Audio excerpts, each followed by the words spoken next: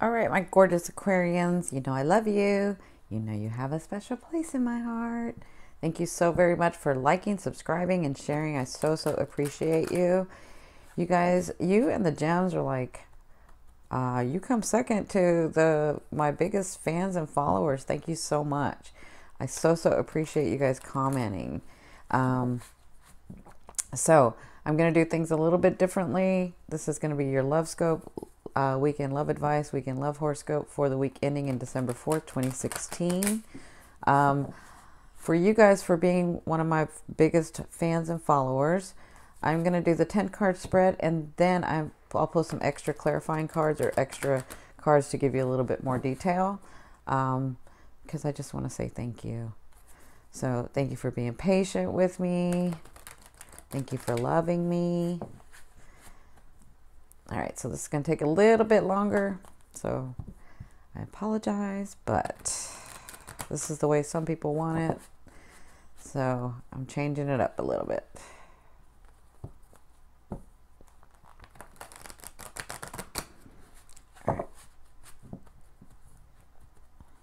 See. These cards are way bigger. And I apologize about my hands. I've been doing so much filming and work, my schedule, that I have not been able to get a manicure and I need to go. All right, one more time. Let me see. There we go. That's a little bit easier.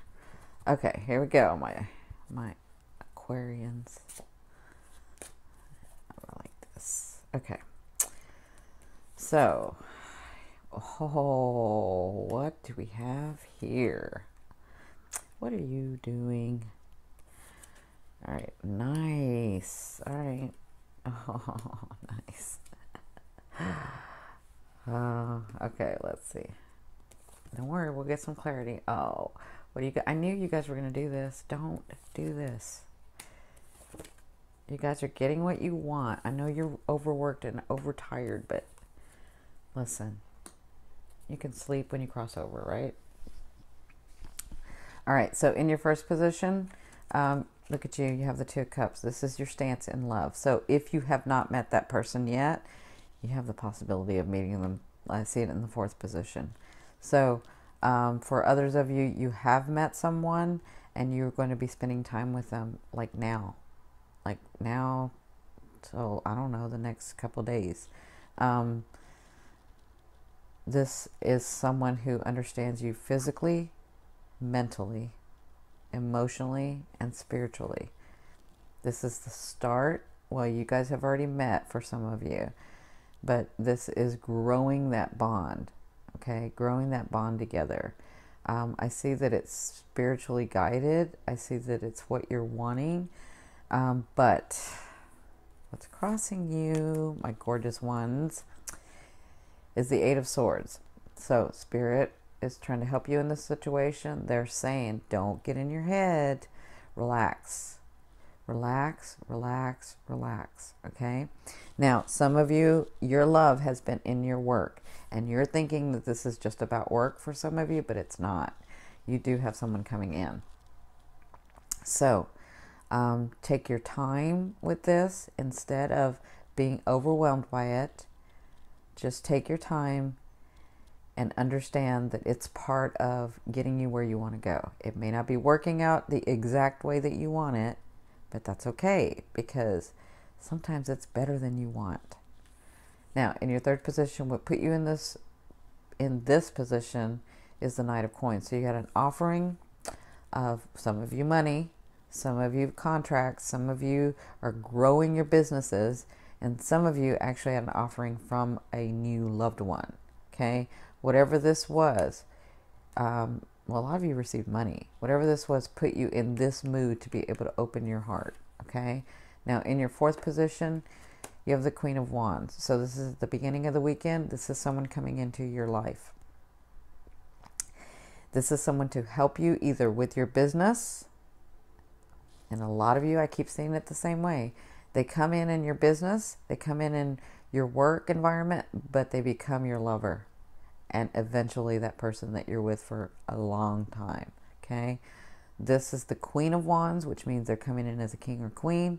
But with it being a queen means that they are not necessarily a fire sign, a Sagittarius, an Aries, or a Leo, but they behave as one.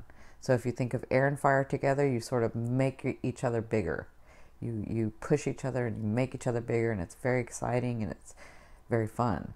So understand you will be spending time with that person this weekend at the beginning of the weekend, and it looks like this. Okay, looks like you'll be bonding with them. And some of you it is your work, but others of you it is um, a love interest.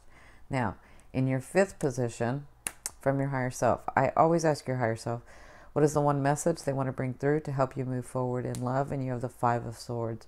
So they want to remind you that even though you decided to put love down, they heard what you said and it's maybe time to pick it back up. Okay? They also want to remind you to, to rest. You guys have been overworked. You can only go so far. Spiritually, you can go forever. Mentally, you can go forever. But physically, you do have to rest, okay? So they're saying even though you're thinking about your work and your life purpose and your money and being stable and all that stuff, it may be time to put that down for just a little bit and rest and open your heart so that your loved one can come in. Okay? Now, in your sixth position, at the end of the weekend, you have the Ten of Swords. So I don't know if you're feeling overwhelmed because of this new person that comes in or if it's because the person hasn't come in yet. Okay. And you're thinking, where is this person? And I've worked so hard. So I am going to pull a card to get some clarification. Yeah, that's what they want you to know. They need you to rest. They need you to relax. They need you not to get so overwhelmed because this is the thing because your bodies are so tired, your mind isn't working like it should be working and it's not clear. And then your energy gets all wonky. Is that a word? But that's a word for me wonky. And they're trying to keep you clear. Okay? Because those things that you're trying to manifest are coming to pass, but they can't come to you when you're in this energy. You have to be in this energy. You have to be in, they can't come when you're in this vibration or frequency. They have to come in this frequency, okay? So be sure to relax, be sure to get some rest, be sure to stay open, be sure to take some time for yourself. Now, in your seventh position, the question I ask is how to what do you need to be reminded of in love to help you move forward? And you have the Queen of Swords. So they want to remind you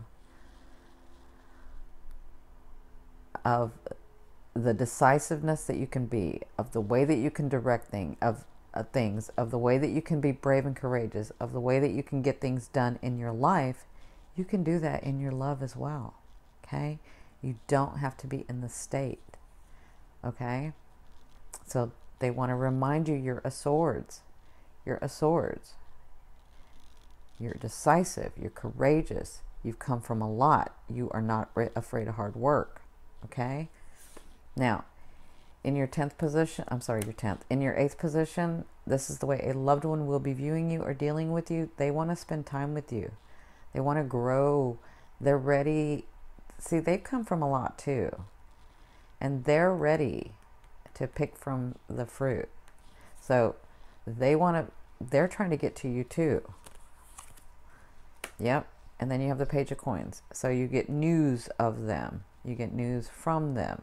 If you have someone that you're dealing with, you're going to a new phase where you can enjoy life again. Okay, where you can enjoy each other again. This is why the Two of Cups is here. Don't overthink it. Allow this to come in. Okay, now in your ninth position, the question I ask is how do how do you want or need to be loved? So you want those things that you have prayed for, those little secret things, those little all that energy that you put into all that work, you want to not just keep it to yourself, but you want to share that with someone. You want somebody to be there and balance this out for you. Okay? That's how you want to be loved. Now, in your 10th position, this is the overall outcome of what you'll be dealing with.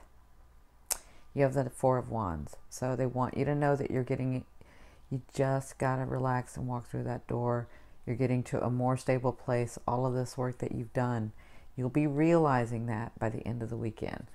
I'll pull another card. See, it's all about action and stability. So, the Palace of Wands is a mindset. You'll feel and understand that you are on more solid ground, that you are in a more stable, comfortable place, okay, by these things that are going to be happening. All right, so don't overthink it. You got to relax. All right, my gorgeous ones, I love you, love you, love you. Thank you so very much for being my fans and my followers and loving me. You have a very special place in my heart. Bye.